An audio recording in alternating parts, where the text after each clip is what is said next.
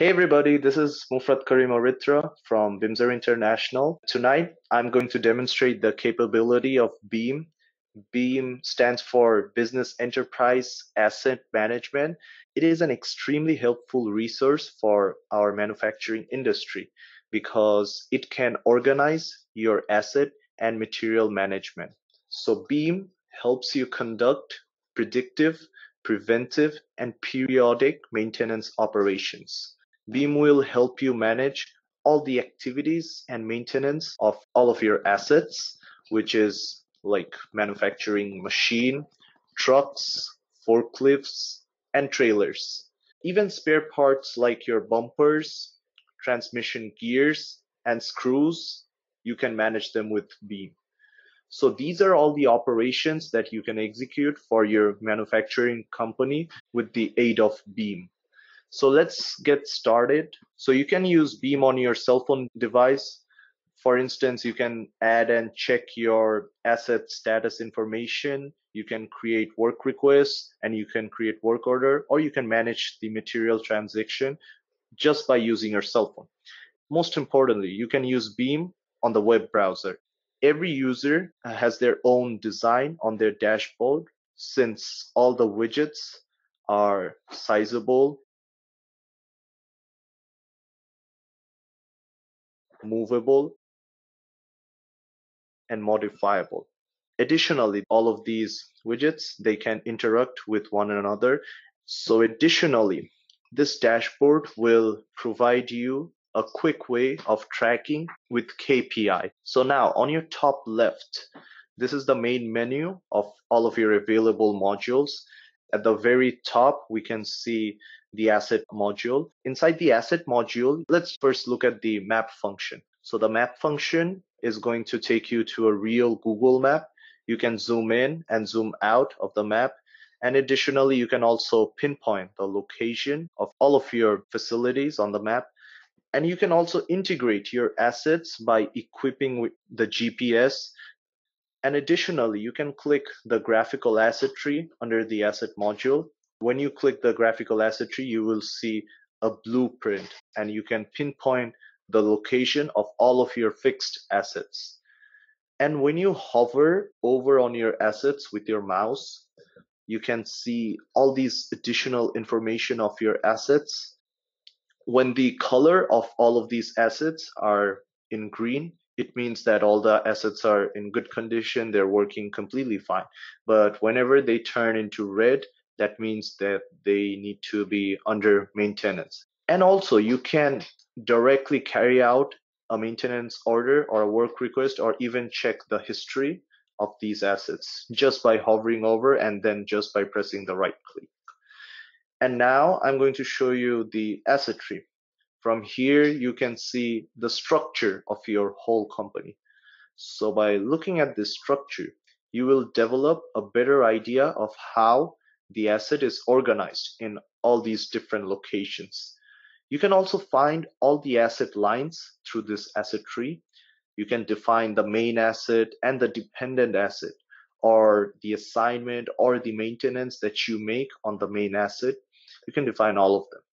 Let's go to the asset list now. So in this list, we can see the information regarding your assets. You can simply click the add button to create a new asset into the system. You can also enter a unique asset code like asset name, asset status, asset department, location, brand, model, and buying price. So furthermore, you can define the material that will be used by this new asset and the responsible maintenance team. You can even enter the insurance and inspection information over here. You can also attach all the handbooks, instruction or certifications under the documents fields.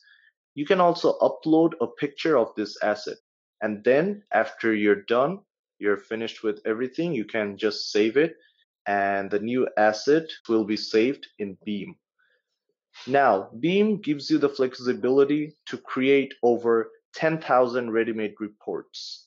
Now I'm going to show you the asset status report and whenever the asset status report is clicked, after you, you have to press the prepare button in order to generate the report and beam will afterwards create a report with a pane chart and table this will just visibly demonstrate you uh, status of all of your current assets you can send this report uh, to someone else with scheduled sending. You can send it to yourself or someone else as well. And with scheduled sending, it means that Beam will automatically send you the report at a specific time.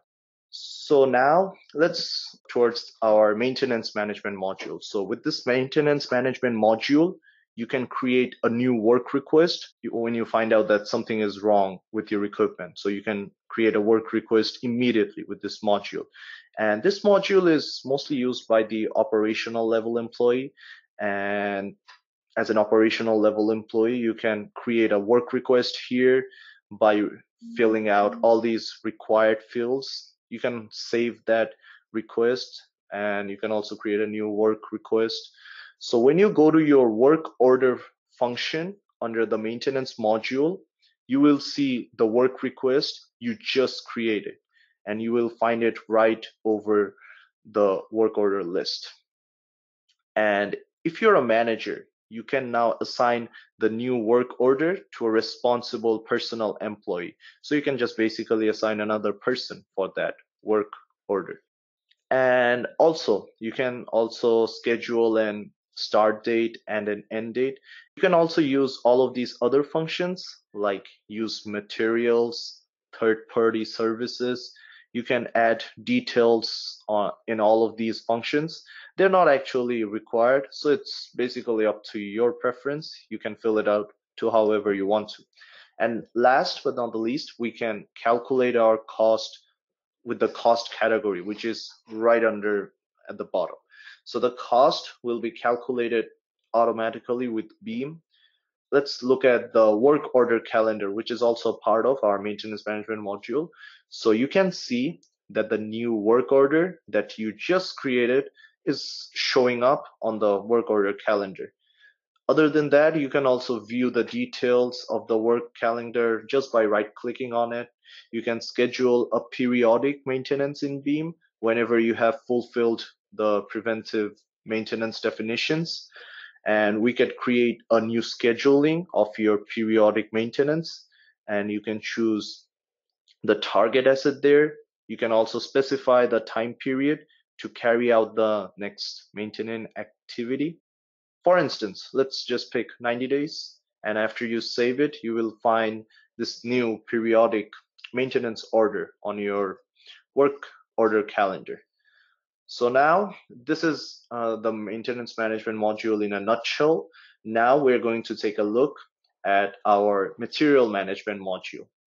Now under the material, material management module, you can record all the materials that you have in your company, like the materials name. So you can enter the information with an unique identifying code, the materials serial number like the materials brand, like the model of the materials, or and you can also add documents and picture uh, into your materials information, and then inside the warehouse parameter field, enter the maximum, minimum, and safety stock of your material. So other than adding all of these information regarding your material, you can even keep track of the transaction of your materials.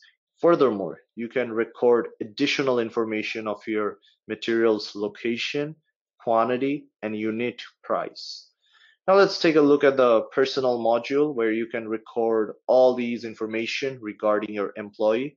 You can in input information regarding your employees like their name, departments, teams, photos, and their wages.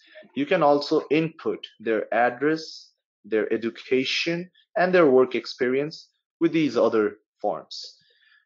Now let's take a look at the function called employee occupation calendar. So through this, you can compare the schedule of different employees and have a basic overview of all of your employees schedule.